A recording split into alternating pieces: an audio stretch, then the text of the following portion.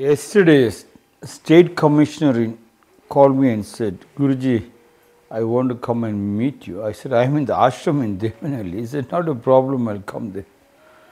So when he came over here, he was shocked. He said, I never believed so much changes has happened. when I met you 10 years back, it was a different story and today it's a different story. And then he wanted to see this, this building. It's a duplex. So I took him to the first floor, to the mezzanine floor, and he saw one tub and he said, What is this tub for? I said, To take a hip bath. He said, Swamiji, you really get time to take a hip bath? I said, Why? He said, Food department every day for 500,000 people.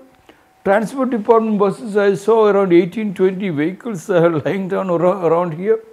Cows around 100 cows. School children, education department, security persons. How you managing? When do you get time?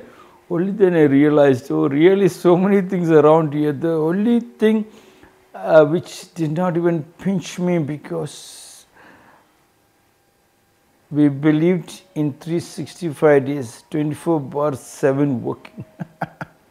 Somebody once asked me, when do you take rest? I said, when the sun takes rest, that day I will take rest. So that has become the habit, like how this discourse was going on non-stop. 1600, oh, it is 3600 odd days that is going on? And I always made sure, yes, it has to happen every day without a break. And that has helped me to help this neighborhood villages on the yoga therapy and the acupressure and the naturopathy almost every day. It has become very healthy. So, what I am trying to tell you is continuity is growth, flowing water is fresh water. And if you have that continuity, without a break, you can see always success. 14th story on the gateless gate from the Zen Flesh, Zen Bones, written by Paul Reps. Nansen cuts the cat in two. Nansen saw the monks of the eastern and western halls fighting over a cat.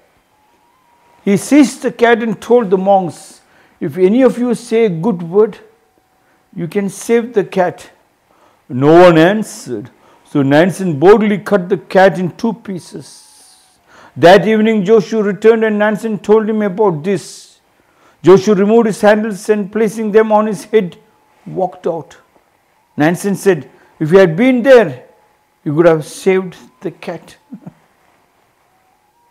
Yin and the yang Positive and negative only can create electricity. But if the yin and the yang, if the two wires couldn't meet, it is there in front of you and you couldn't even touch it. And there is a problem in between that the positive belongs to me and the negative belongs to you. Then you will never see Katil in the Balakin Tamas so much Jyotirgamaya. You will never see from darkness to there was a story about the tortoise and the rabbit. There was a banana plant and the tortoise and the rabbit was fighting for one banana plant. So the parents decided, okay, we have to cut them into two pieces so that they can have one each. So the father cut the banana plant into two and then showed which one you wanted. And the rabbit said, the top one because it has got beautiful leaves and I want the top one. So the father gave the top one to the rabbit and the kachua, the tortoise got the lower portion, the root portion. He planted the, the one which is on the lower portion looks ugly. and the rabbit planted the other one also. Rabbit which planted, it died and the one which has got the root, it bloomed beautiful like a beautiful one. when you cut it into pieces,